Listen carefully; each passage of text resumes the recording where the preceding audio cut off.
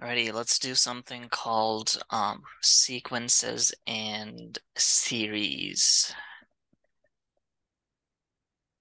What it is is is essentially it's pattern finding. Let me show you what this means.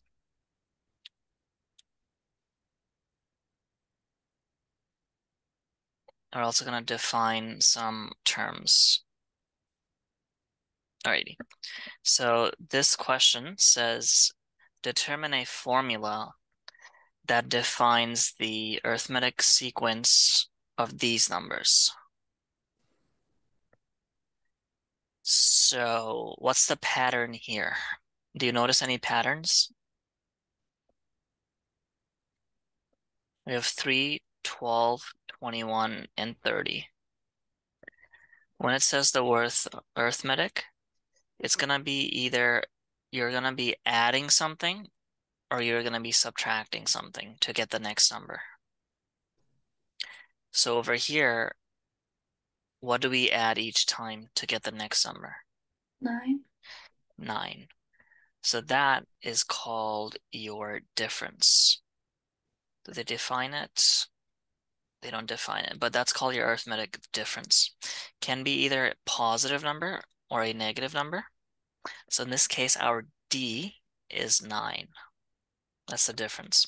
If it was decreasing, if it was the other way around, then D would be negative 9. Now the first number here in the sequence, this is called, well, it's the first term.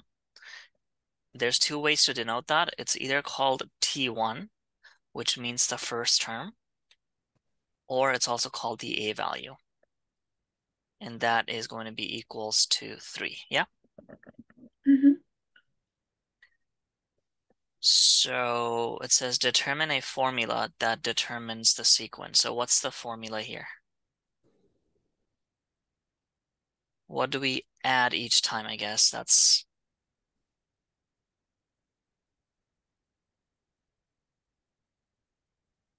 You can look at it like this.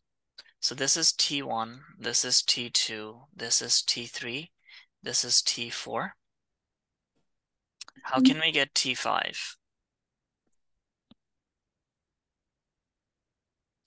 Add 9. Add 9, right? But it says find a formula, so what we can do is we can just add 9 to the previous term. Like mm -hmm. this. Now this next part is kind of important and it's it's going to be a little bit confusing. Tn means the nth term. n can be any number. That is always going to be equal to Tn minus 1, the term prior to that nth term. So T5, T4. Tn minus 1 is the term before. So if this is Tn, this is T minus 1. If this is Tn, this is T minus 1. You just add 9 to t minus 1, like that. And that is the general form of this sequence. Okay? Mm -hmm. Just add 9 to the previous term. This is also called, it has a name, it's also called the recursive formula. Recursive formula. Recursive uses the previous term to get the next term part B here, it says state a formula that de defines each term of any arithmetic sequence. Now the next part is just a simple formula. Um, Tn, this is using the recursive. To use the recursive, you need to know the term before. Like for example, if I asked you what's T50, well, the only way to get T50 is if you know T49 and if you add 9 to it. But most of the time, you're not going to know what T49 is. So recursive fails in that sense. Recursive is only good if you know the previous term. In an example like this, recursive is no good. So how do we get T50 if we don't know what T49 is? There's a formula for it. And this is the formula. Tn is going to be A plus n minus 1 times d. So if we plug everything in here, let's say we want to find T50, it'll be A. A is the first term, it's 3, plus 50 is our n value, minus 1, and our common difference was D. So this becomes 3 times um, 49 times 9. And you just plug that in, and that'll give you your 50th term, 444. There you go, that's your 50th term. But the answer to part B is this. That'll always give you the term number that you're looking for. But to use this, you need um, your A value. You need the first um, term in the sequence, and you also need the common difference. This is basically a straight line, like this one, Tn equals A plus n minus 1d you can treat Tn as y. A, and then let me open this bracket. A plus n times d minus d. Now while our variable is n. n is our x. So you can treat this as a minus d plus n times d. This is in the form of mx uh, plus b. So this is your intercept. This is your slope. The common difference is your slope. And your n is essentially an x. So this is just, in its bare bones, a linear relationship. It's just a straight line. We're not going to worry too much about the straight line bit. That's just to show you that it's just a linear function. Important thing here is to know the formula and how to use it.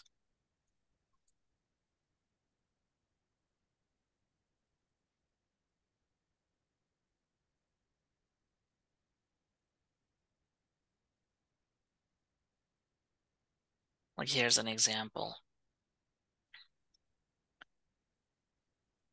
So here your A is 18. A's are always T1. Um, N is 33. We're looking for the 33rd term. What is our D value?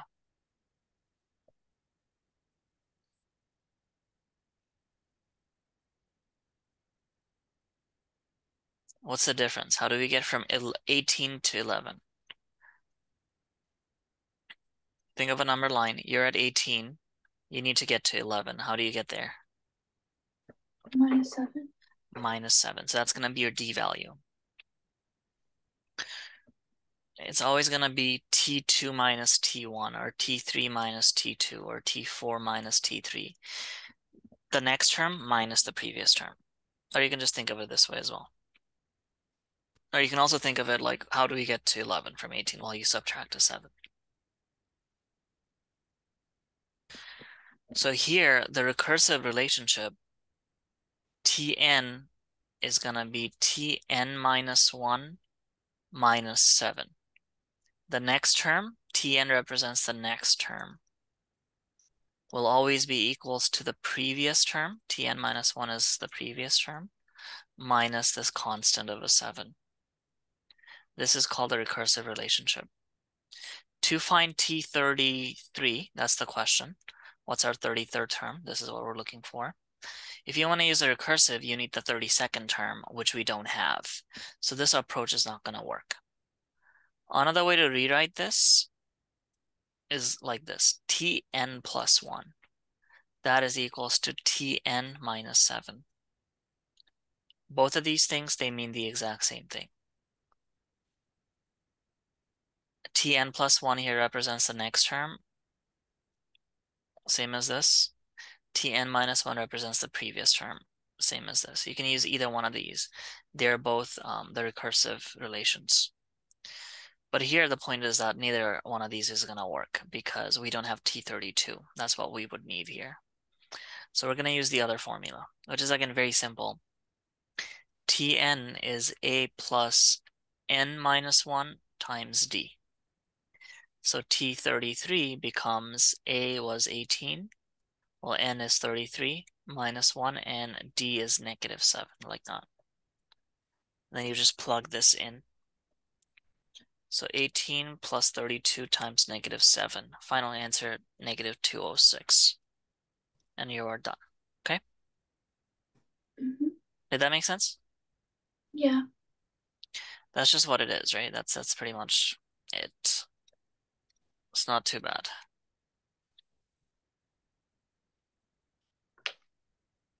And if you open this, let me just show you. If you just simply um, open this, let's say you don't know your n value. So a is um, 18 plus n minus 1 times negative 7. When you open that bracket, you get 18 minus 7 plus 7, right? Uh, yeah. Then that'll be 25 minus 7n. So this, you can treat it as y equals uh, b minus mx. It's just a straight line. The y value, or the intercept, is 25, and your slope is negative 7. So this is what your line is going to look like. On the x-axis here, we have the term number, n. When n is 1, you get 18. n being 0, by the way, makes no sense because you're looking for the zeroth term, which doesn't have much practical sense. But so you can kind of ignore that if you would like. You can just start from the x value of 1. Let me just start right here. And then you can keep going you just follow this line. T2 would be here, T3 would be here. For us, we want n as 33. So we would go all the way here and we'd go down. We'll never use this approach, but this is what we're actually doing. And that's how you get the answer. Okay? Mm -hmm. It's just a straight line.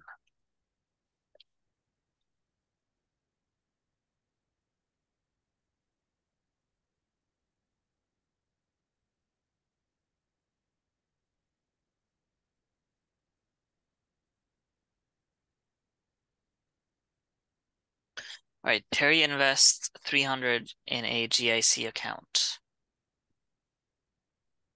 Um, that pays 6% simple interest per year. When will his investment be worth $732?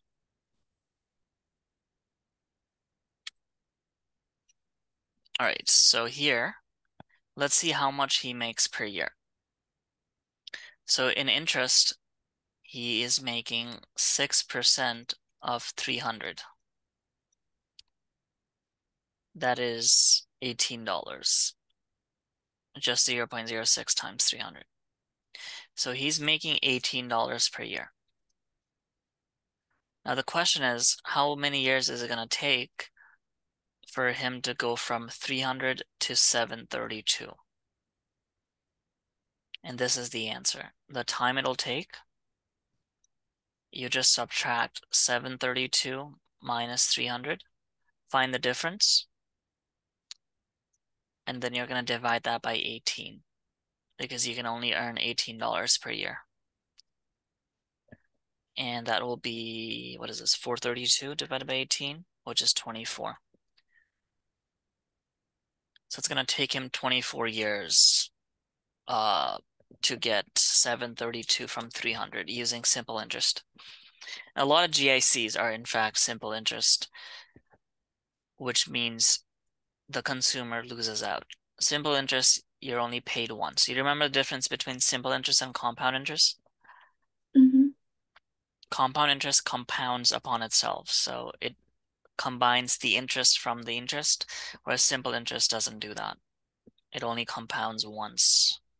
So simple interest will always lose.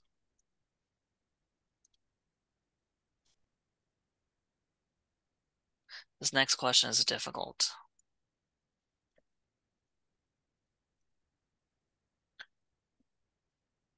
It's difficult in the sense that you had this becomes a system of linear equations, but we know how to do it. So the seventh term of an arithmetic sequence is 53. All right, so let me give you the general formula. Tn is a plus n minus 1 times d. What will T7 be using this statement?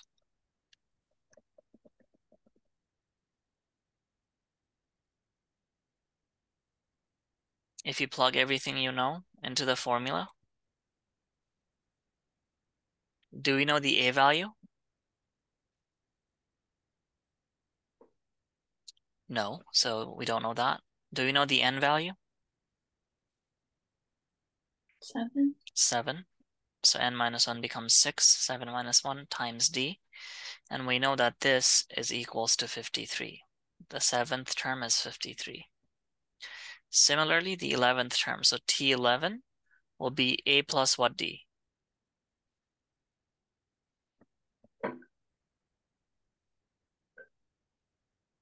Eleven. Uh, won't be 11. You need to plug 11 in there. It'll be 10 because it's n minus 1, okay? Mm-hmm. So it'll be 10d like this, and that is equals to 97. And look at this, I can ignore this bit. We have a system of linear equations. We have two unknowns, which is a and d, and we have two equations, so we should be able to solve it. Let's use elimination. Do we add or subtract? Subtract. Subtract. So you will get negative 4d is equals to negative 44. So d is 11. So your common difference is 11. We can plug this 11 into either one of these two equations. So we get a plus 6 times 11 is 53. So a is going to be 53 minus 66. a is negative 13. And the question now says determine the hundredth term. So we're looking for T100. I'm just going to plug it into this formula. We know our A value, that is negative 13, plus our N value now is 100, minus 1, and our D value is an 11. Let's plug this in and we're pretty much done. So negative 13 plus 99 times 11. So the 100th term in this series would be 1076. Cool? Mm-hmm. So all we did here was that we solved a system of linear equations. And then we used it in, in the final formula to get the 100th term.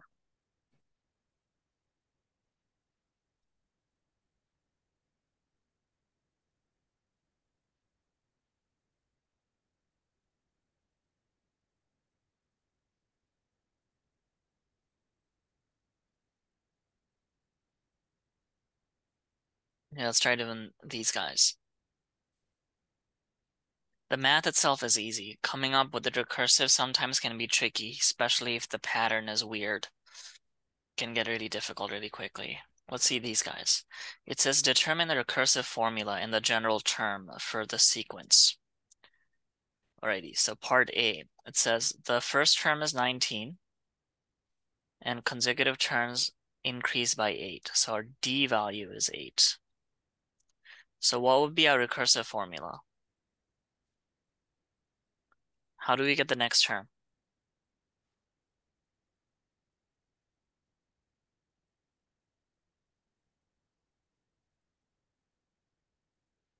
You take the previous term, tn minus 1, and then you add an 8 to it. You can write it like this, or you can also write it like this. They both pretty much mean the same thing. The next term will always be the previous term, and then you're going to add a to it. This is called a recursive relationship. Now it says find a general term formula. The general term formula uses Tn. The formula for which is this? Tn is a plus n minus 1 times d. So if we plug everything that we know into this equation, what do we get?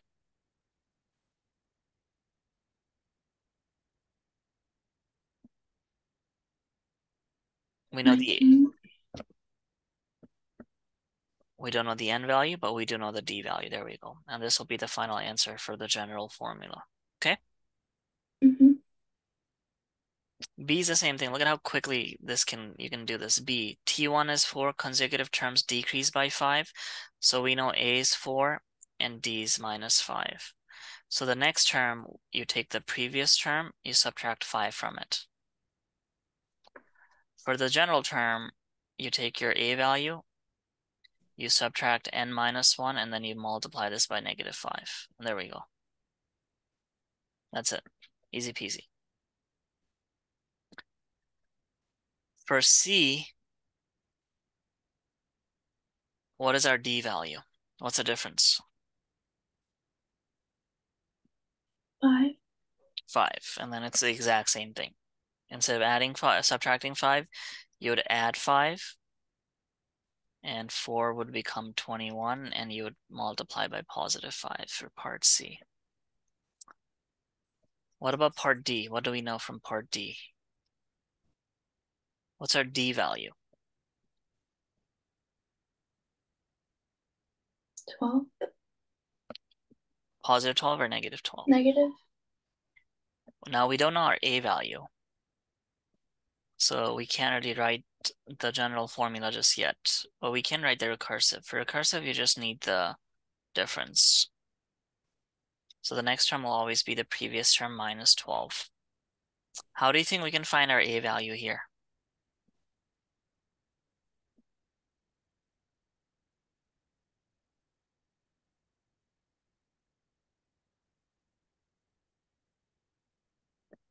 So our fourth term is 35. Consecutive terms decrease by 12. So that means you're going to be subtracting 12. T5 would be 23. But we need our A value. To find the general term, if you look at the formula, you need the A value. You need T1. So you need to work backwards. To find T6, you would subtract 12, but we don't want to go down this path. We want to go backwards. We're going to go to T3. What's T3 going to be?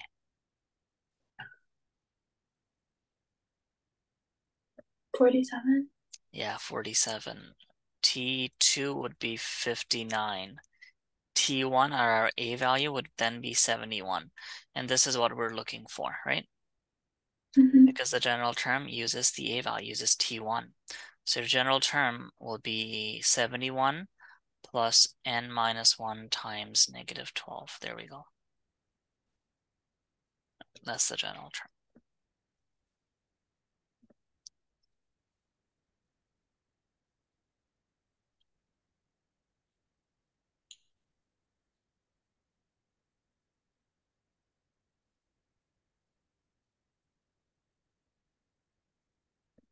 This next question is slightly tricky because of the notation.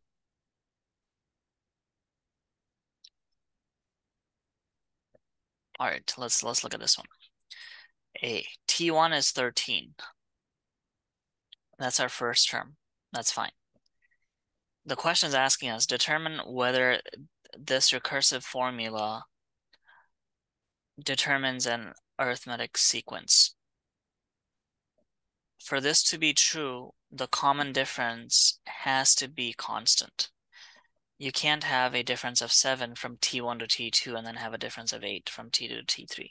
All the differences between each terms should be exactly the same. The D's need to be constant. So let's use that in part A. I'm going to find T2. Look at this. T2, our n is 2. That is equals to 14 plus Tn minus 1. So that's T2 minus 1, T1. To find T2, you just add 14 to T1. So that's going to be 27. T3 will be 14 plus Tn minus 1 represents T3 minus 1, T2. So 14 plus 27 is 41. So 13, 27, 41. The next one will be 55. The next one will be 69. Does this represent an arithmetic sequence?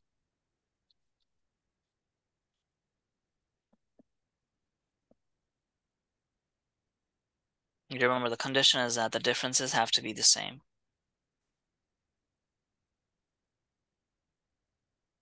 It does. It does.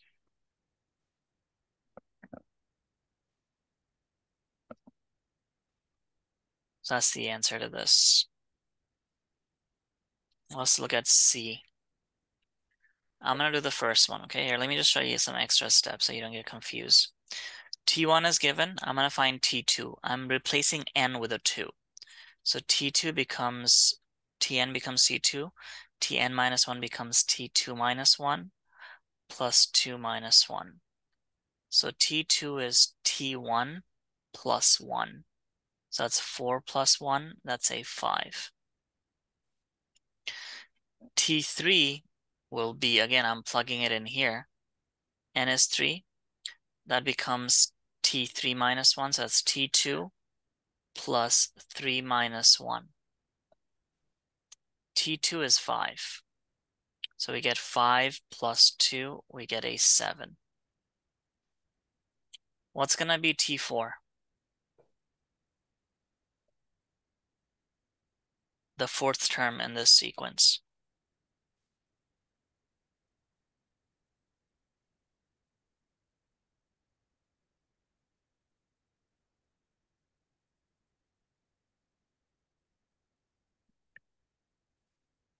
So let's work from here.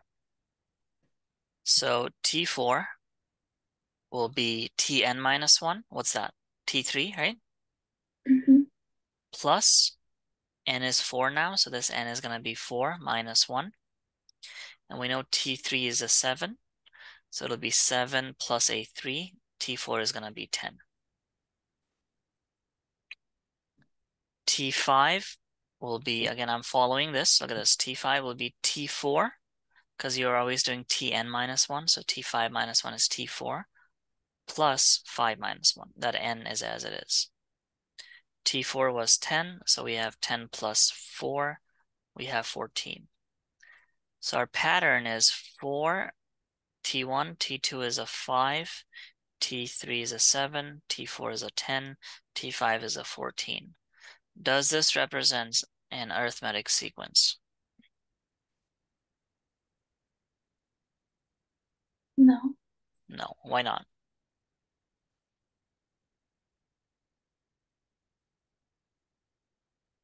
Because the D's are not the same. You're adding Mhm. one here, you're adding two here, you're adding three here, you're adding four here. Do you see the pattern? What's gonna be the next number? Five. You'd add five, so it'll be 19, right? The next number you'd add a six, which will be 25. That's still a sequence. It's just not a arithmetic sequence.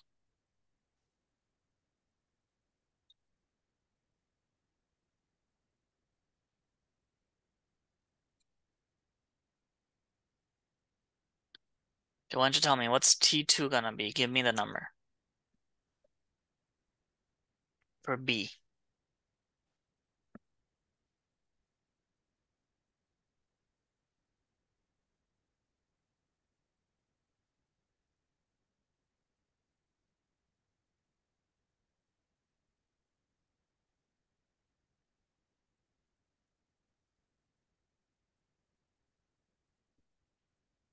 All you have to do is this. Just replace the n with what it is. So in this case, our n is 2. So this becomes 3 times t2 minus 1. And we know 2 minus 1 is a 1, so it becomes 3 times t1. t1 is given, it's 5, so it's 3 times 5, it's a 15. Do you understand Mhm. this? Why don't you tell me what t3 is?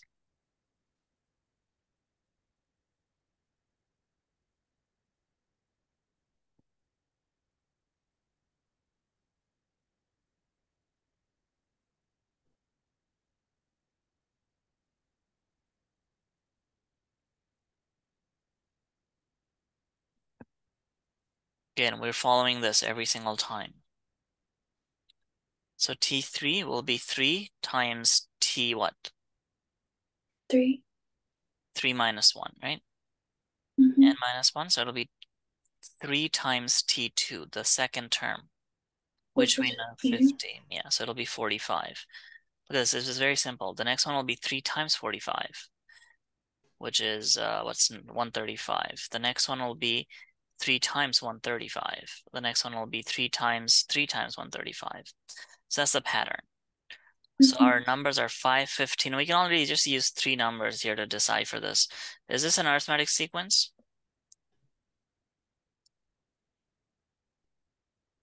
We added 10 and then we added 30 and then we added like 90. Is that an arithmetic sequence? The answer is no. It ain't because the d values are not the same. Easy as that. In fact, this one, okay, I'll tell you this. We'll be doing this in a little bit, or maybe tomorrow. But the fact that you have to multiply a number to get the next number, like here, this is times 3. Here, this is times 3. Here, this is times 3. That is still constant. This times 3 is called your R value. When you multiply, it becomes R. When you add or subtract, becomes D. R is called the common ratio. Is the common difference. R is called the common ratio. If your R's are constant, then it's not an arithmetic sequence. It's called a geometric sequence. If you have to multiply a number to get the next number, that is a geometric. If you add something to get the next one, arithmetic. All right, let's look at part D. I don't think that's a sequence, or arithmetic sequence, but let's see. It looks weird. I know it looks weird, but it's not that bad. You're just replacing the ends. You just got to look at it that way. Look at this. T2. I'm just going to replace all the ends with a 2 now. Negative 2 plus 2, 0. Gone. Then we have 2 times T2 minus 1. And in the subscript, we have 2 minus 1, which becomes T1, like that. So that's 2 times 1, that's a 2. T3, again, I'm following this. T3 will be 2 times T3 minus 1 minus 3 plus 2. So this is 2 times T2 minus 1. That's 2 times 2 minus 1. That is a 3. We can just stop here. This is our pattern. Maybe not. Maybe we can't. Let's go one more level. All we're doing is we're multiplying the previous term with a 2. Tn minus 1 means the previous term. So if we have T4, Tn minus 1 is T3. So you're just multiplying that 2 with the third term, which was a 3 minus n. So now n is 4 plus 2. So you get 6 minus 2. That is a 4. Is this an arithmetic sequence? Yes. Yes, because the common difference is 1. Cool? Mm -hmm. Coming up with these is not easy. But if they give you that to begin with, then you can work with it.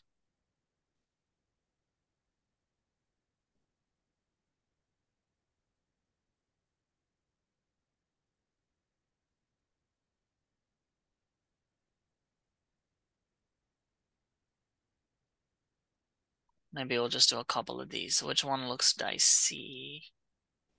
Let's do fractions. Because who doesn't like fractions? All right. Let's look at E. We know our A is 1. What is our D value?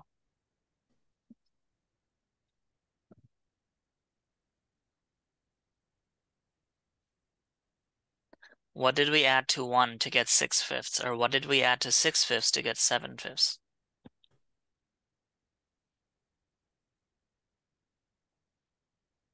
One fifth.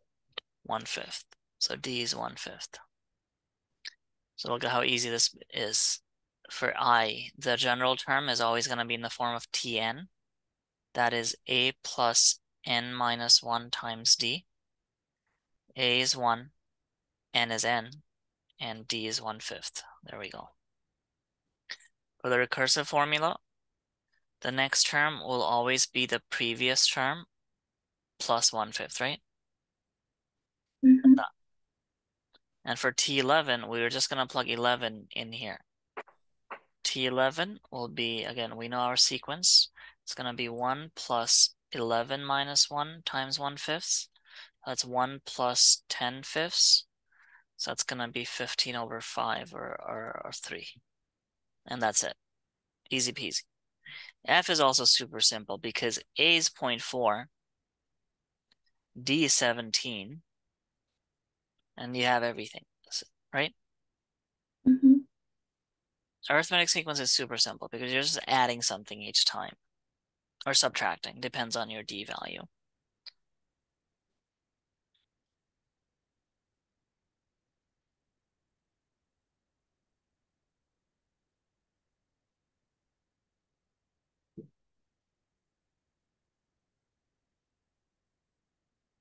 Again, same kind of idea here. Um, they've given us the relationship and we're going to identify whether this is arithmetic or not. And remember, the common differences have to be the same.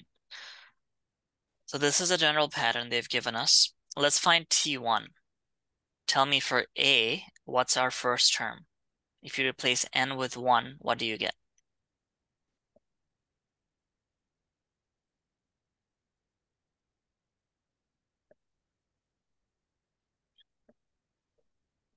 You just have to replace this n with a 1. So it's six. 6 done. What about T2?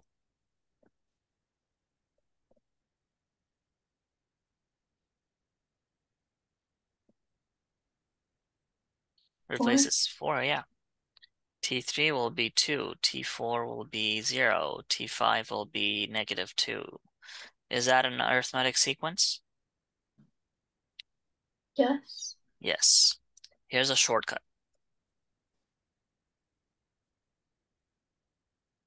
Because this is in the, in the form of um, b minus mx or negative mx plus b. Is that a straight line? Yes. Yes. Straight lines automatically arithmetic sequence. We couldn't do this for, where to go? For these guys.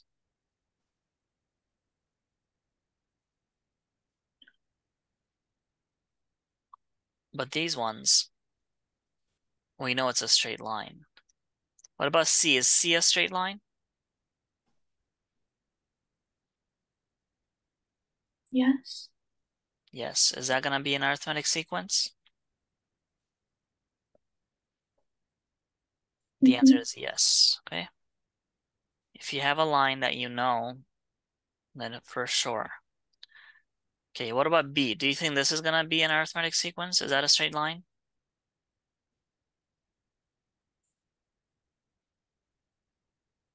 No. No.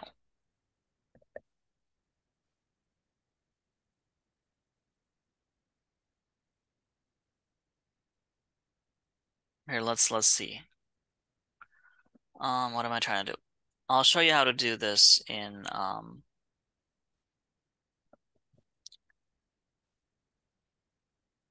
I'm gonna save some time here. So we need five terms. And our pattern is n squared. So you take this, you square it, minus 3 times that term, plus 7. Like that. And the beauty about Excel is that once you have one, you have all of them. All you need to do is click this and drag this down. Does that look like an arithmetic sequence? No. No, we already knew that though, right? Because it was not a straight line. There's no way that's an arithmetic sequence. That's a quadratic because of that n squared. We can do the same thing for D. Look at this. It's gonna look weird. One, two, three, four, five. Because we just need the first five terms. That's what it says, five terms up there. So for this one, it's gonna be slightly more trickier. We're gonna need brackets. So it'll be two times that term number plus five in the numerator divided, but the answer is it's not an arithmetic sequence. We already know it, but let's prove it. It'll be seven minus three times this. Close bracket. Look at the formula there. To input a formula in an Excel, you always have to put the equal sign first. Press enter. That'll be your first number. And then you just drag it. Like that. Does that look like a straight line? Look at the common differences. It's all over the place, right? That is most definitely not a straight line. So that is not an arithmetic sequence. What you can do with these is you can also visualize them. Once you have your numbers, you just go to insert charts and just click the first one, this one. That does not look like a straight line. So that's out. And then we do the same thing with these guys. Highlight all of them, insert chart. Again, the first one, I don't even know what that is. Um, yeah, it's because there's an asymptote for that one. Like this one, there's gonna be an asymptote here. You have this guy going this way, you have this guy going this way. It'll never cross the asymptote. But the point is that they're not linear. And you don't have to know do all this to see that they're not linear. Just look at the equation if they give it to you as they have here. All right, let's go to question um, 10. This is kind of where you earn your money, I guess. Question 10.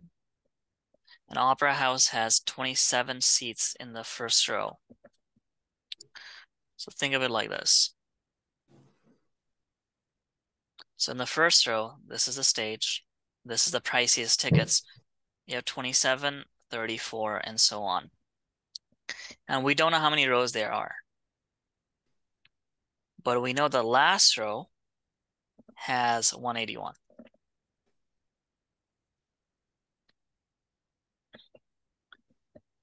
Part A says, how many seats are there in the 10th row? So the question A is asking us for T10. And question B, how many rows of seats are there? It's asking us for the N. How many N's are there? This is N1, N2, N3, N4, like that.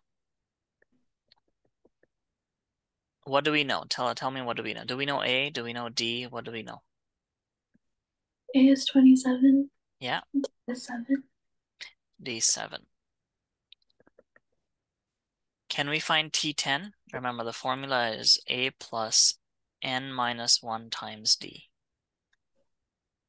T10 would be 27 plus 6 times 7 sorry, 9 times 7, n minus 1. So 10 becomes 9, 9 times 7. So that's 27 plus 63, that's 90. Let me just double check. Uh, yeah. So there are 90 seats in the 10th row. Okay, that's it. That's for part one. Mm -hmm.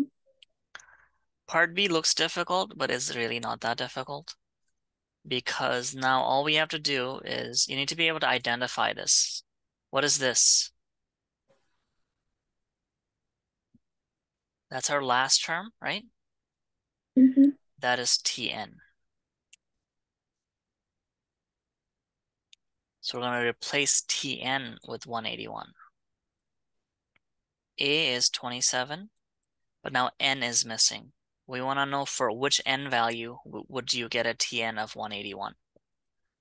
So it'll be and we don't know, but we do know D7. There we go. Now we have a linear equation here. How do we solve this equation for n? You subtract 27. Yeah, you're going to subtract 27. And then?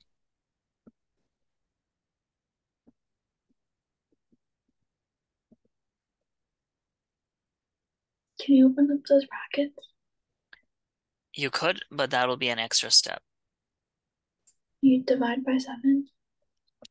So that's 22 equals n minus 1. So n is 23. So there are 23 rows in this opera house, and that's the answer to part B. So again, the math is very simple. You just have to be able to identify that this is Tn. The last row is Tn. The last number is Tn, and you're looking for this n. Tn is given, what's your n? And that's T subscript n, right? It's one term, it's one mm -hmm. variable. It's the same thing as saying an x or a y.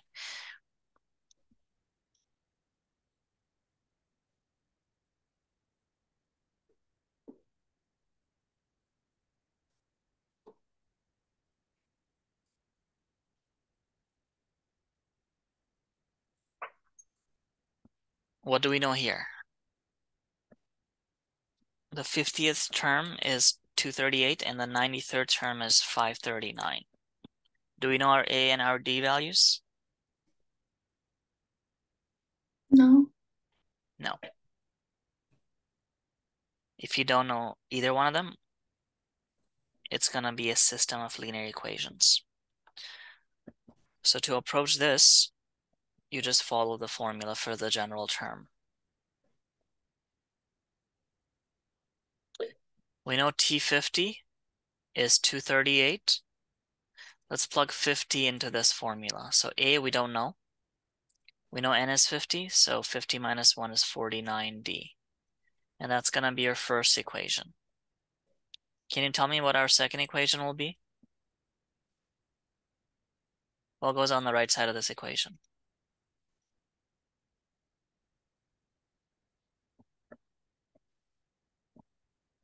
You just have to plug 93. 92D. A plus 92D, yeah? Mm -hmm. There we go. You can erase this and you have a system of linear equations. Substitution is the way to go for these and you need to subtract them. So 238 minus 539 is negative 301. A is gone to Narnia and 49 minus 92 is negative 43. And divide both sides by negative 43. D7. Plug that back in here. So you have 238 is equals to A plus 49 times 7. So A will be 238 minus 49 times 7.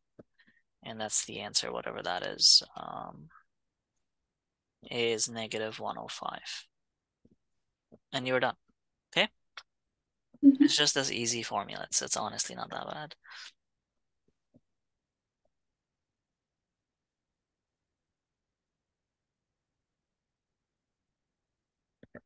So if you add something, it's going to be an arithmetic sequence, not add, sorry, plus minus, plus minus.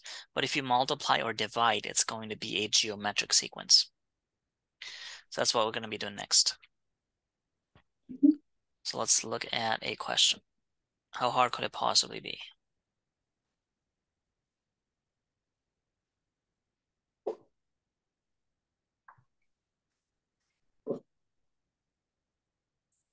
Let's start off with an easy example. So we have 2, 4, the most common one, 8, 16, 32, 64, yada, yada. What's our A value here? 2. 2. It's T2, this is T3, this is T4, T5. Now we don't use D anymore. We use R. D is T2 minus T1. R is T2 over T1. What's our R value?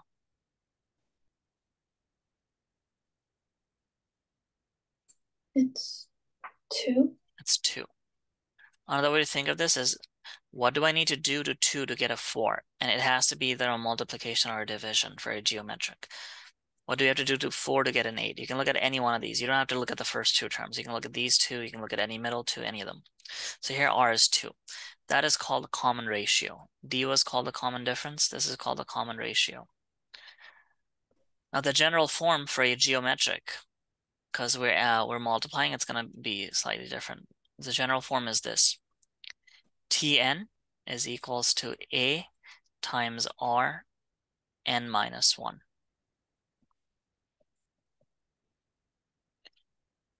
So here we know T5 is 32, but we can double check. T5 will be A times r, which is also a, to the power of 5 minus 1. That's 2 times 2 power 4. That's 2 times 16. That's 32. And that's how we could have gotten this. Okay? Mhm. Gonna use this. That's the answer to part B, basically. The, the formula that we have up there is the answer to part B. For part A, we just replace these things. So we're looking for T13, the 13th term is what we're looking for. The first term A is 9, and the common ratio is 2. So it becomes 9 times 2 to the power of 13 minus 1. That is, I don't know what that is. So 9 times 2 to the power 12 is a huge number, 38,864. And that's it. That's the final answer. If you want to write the recursive, previously we added or subtracted, but now we just multiply it by the common ratio. It's always going to be like this. Your next term will be the common ratio times the previous term.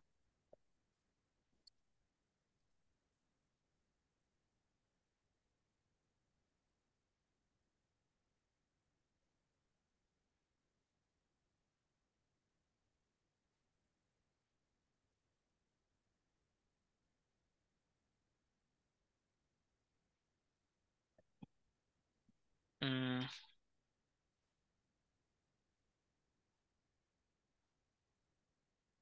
So initially, we started off with three kilograms. After one year, we lost 95, or what's the mass after one year? 95% of the original was conserved. It'll be 3 times 95, or sorry, yeah, it'll be 3 times 0 0.95. That'll be 2.85, right? Mhm. After year two, we're going to conserve 95% of that. That'll be like 2.7075. I just multiplied it by 95 each time. So your general form is going to be 3 times 0.95 to the power of n minus 1. To find T100, you just replace that n um, with 100. So it becomes 3 times 0.95 to the power 99, and that is 0.0186 grams or kilograms, whatever. And that's the final answer. Cool? Mhm. So here we're just looking for the R value. Um, all right, let's let's call it a day there for today. Okay, thank you. See ya.